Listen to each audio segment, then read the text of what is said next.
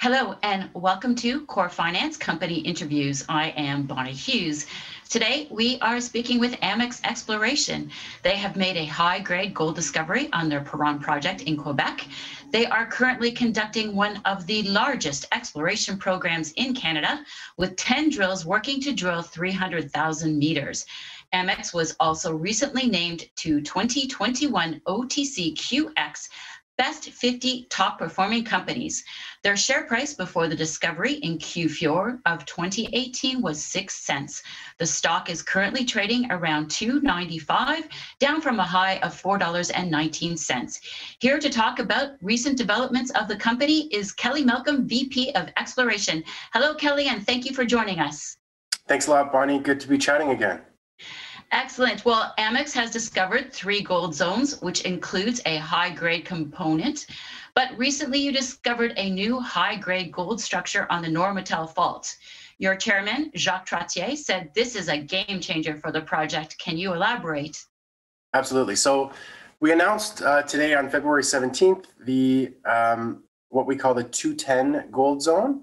Um, this is one of two high grade hits that we put out outside of our typical four uh, zones that we work on, which is the, the Eastern Gold Zone, uh, Gratien, Grey Cat, and Central Polymetallic Zone. So these two announcements, uh, one of which was about two weeks ago, uh, PEX 21041, and today's PE 20210 are much further north than is the norm for uh, Amex. So We've been talking about doing a significant regional exploration program for um, quite some time now, but we get very distracted by the um, by the high grade gold that we're hitting in the high grade zone in particular. Uh, but we finally started doing some real exploration uh, at towards the end of 2020, and clearly it is yielding some excellent results. And the, the result from today in particular is exciting because it opens up what we call the Normetal fault, so we have the Perron Fault to the south, where most of our discoveries are focused on. This opens up a humongous kilometric thrust fault to the north, and that's why Jacques called it the game changer. That's excellent. But you also put out some results from the very exciting high grade gold zone. Can you tell us about the significance of this zone and an overview of the results? Totally. So the high grade zone um, really is the discovery that has brought Amex its significant increase in, in both valuation uh, and share price over the past few years. We've we've been hitting very consistent, very high grade gold over nice widths. And the really great thing about the high grade zone is uh, obviously the high grade gold mineralization, but the I guess the less exciting thing than the high grade gold, but probably the more important thing for future mining is the continuity of this gold system. So when you take a look at some of our images, you see that it's consistently distributed gold mineralization across the entire vertical extent from surface down to what we announced today, up to 1,250 meters vertically, which is for reference like three CN towers deep. Um, it's, it's very, very deep mineralization. Starting from surface, uh, we put out up to 32.99 grams over four and a half meters today. It's um, it's the gift that keeps on giving as we continue to continue to explore it.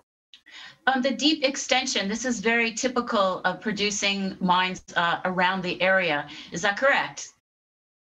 Yeah, the like I'm a I'm a gold investor as well as as obviously being um, involved in working in the space, and I often hear um, our grade's going to get better and the widths are going to get better as we get deeper and and usually that comes with an eye roll from the audience when you hear that story. But what is exciting about the high grade zone is it's coming to fruition. So what we're seeing um, as we drill deeper and if you again take a look at our uh, long section from our press releases the bonanza core of mineralization near surface is about 150 meters vertically. On the depth extension so far, it's about five or 600 meters of vertical extent of better than 100 metal factor gold. So the grade genuinely is getting um, higher and more consistent at depth, which is something that I'm very excited about and was very happy to see um, come to life because we've always been been thinking that and, and hopeful of it, but I think we've proven now that that's the case. Um, another thing that we've proven with our deep drilling is that this is an extensive and continuous system that we expect will continue um, to much greater depths than we've currently drilled. Well, high grade and bigger widths at depth is really good for economically for a mine. So can you give us an overview of Amex's extensive exploration program? Sure. We have I've been trying to find anything bigger. I think we have one of Canada's biggest gold programs. I think Osisko has has a bigger one, obviously, with they've got about 30 drills, but we've got 10 drills operating on the project. We're in the middle of a 300,000 meter program. We've got about 125,000 meters to drill throughout the balance of 2020. Sorry, 2021. Oh my gosh. uh, throughout the balance of 2021.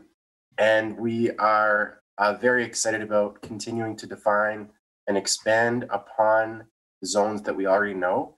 In addition to that program, which will eventually lead to a maiden resource, we plan to continue doing exploration as we've we've noted in the past few press press releases that it's yielding very high grade gold in new areas and um, we think it adds significant value to the project. And so what Amex achieved a lot in 2020. So what are you hoping to achieve this year in 2021? A whole lot of drilling. We hope to be able to um, generate a maiden resource at the beginning of 2022. Our target is Q1 of next year. Uh, and that will incorporate a number of different things, namely the high grade zone, the near surface portion of the Denise zone, the near surface portion of the Grey Cat zone, and the near surface portion of some of the Gratien gold zone. If we are able to um, which we're quite hopeful that we'll, we'll be able to do, um, identify what we think can be economically viable um, additional zones elsewhere. We will work to aggressively define those to be able to incorporate them into our resource as well. So long story short, we've got a lot of drilling to do. Um, we're very well financed in order to complete that program with the final objective of, of launching a maiden resource towards the end of this year very well financed, as in $32 million in the bank. We've got lots of capital, yes. And I also read in your news release today that you have 13,000 assays pending from 2020. That should make a, for a lot of news flow over the coming months. Uh, it certainly will. It's been um, it's been a little bit frustrating, but it's an industry-wide um, industry-wide delay that uh, unfortunately was compounded by by both COVID and by the fact that the, the overall metals industry has heated up and there's a lot more companies actively working at the moment. Um, we will have a lot of news flow to come over the next um, weeks and months. Uh, and we hope to be able to catch up with, with our backlog in the assay lab um, over the next few months as well. Well, you have a sign up on your website for news releases, so I suggest everyone sign up to get those assay results that will be coming out over the next few months. And Kelly, thank you very much for joining us, and we look forward to having you back and hearing some more news about the exciting Perron project. Thanks so much, Barney. Always a pleasure, and let's do it again soon.